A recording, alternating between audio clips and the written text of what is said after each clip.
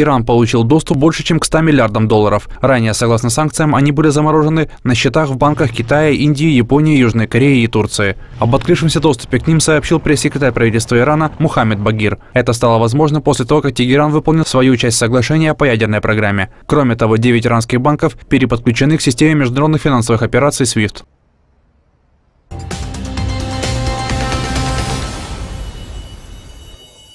Обвал фондовых рынков Китая и девальвация юаня сильно ударили по целой армии китайских пенсионеров-инвесторов. Они несут убытки. В отличие от западных стран, где в качестве инвесторов доминируют страховые и пенсионные фонды, в Китае 80% транзакций на рынках совершают мелкие игроки. Многие из них пенсионеры, такие как Хэ Мэй Джейн. Ей 76 лет, и она начала заниматься торгами на бирже 18 лет назад. Почти каждый день Мэй Джейн проводит у экрана компьютера в здании Центра торговли акциями акциями в Шанхае. Вокруг такие же инвесторы-пенсионеры. Работа чередуется с зарядкой, чтобы не засиживаться на месте. Едят там же, у мониторов. Хэ говорит, раньше пользовалась советами тех, кто лучше разбирается в торговле ценными бумагами. Но теперь ситуация не зависит только от опыта. Наши акции не идут вверх, они только высасывают из нас деньги, и каждый раз их цена опускается еще ниже, она не поднимается.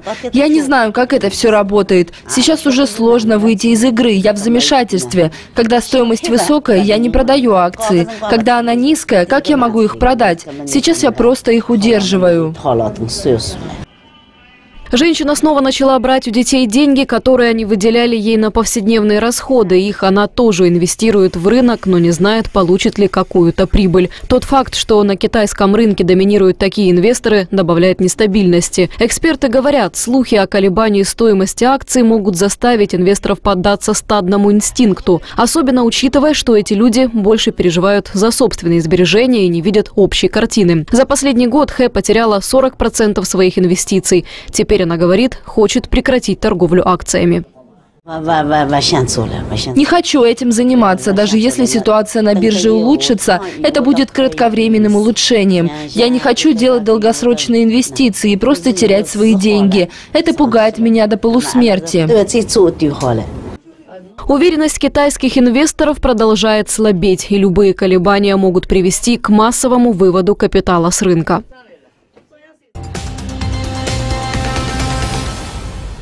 В марте американская компания Tesla Motors официально представит свой новый электромобиль Model 3 и другие новинки. Об этом авто пока известно крайне мало. Предполагается, что это будет относительно доступный седан, и его стоимость составит 35 тысяч долларов. Запас хода около 320 километров. Об электромобиле Model Y известно еще меньше. Вероятно, это будет маленький кроссовер на платформе Model 3.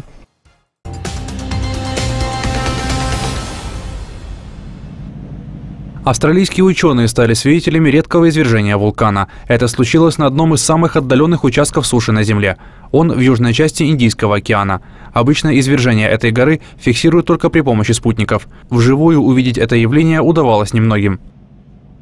Вчера, когда облако немного рассеялось, мы увидели, что извергается вулкан. Мы увидели пар, выходящие из кратера, а также лаву, которая спускается по склонам Биг Бена. Это очень захватывающе, ведь в эту часть мира сюда приходят очень редко. На самом деле, последняя геологическая экспедиция на остров Херт прибывала в 1987 году, около 30 лет назад. Ученые пытаются зафиксировать и сфотографировать все детали процесса.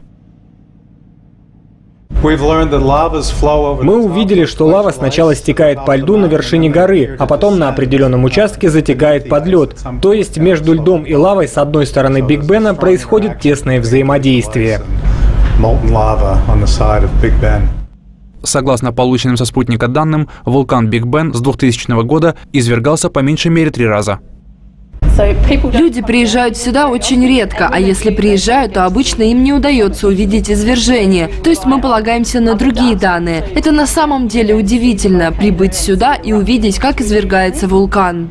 Небольшой необитаемый архипелаг, который включает остров Хёрд, это внешняя территория Австралии. Он находится почти в 4000 километров от крайней юго-западной точки Зеленого континента. До Антарктиды от архипелага 1630 километров. Сам остров Хёрд – это вершина подводного вулкана.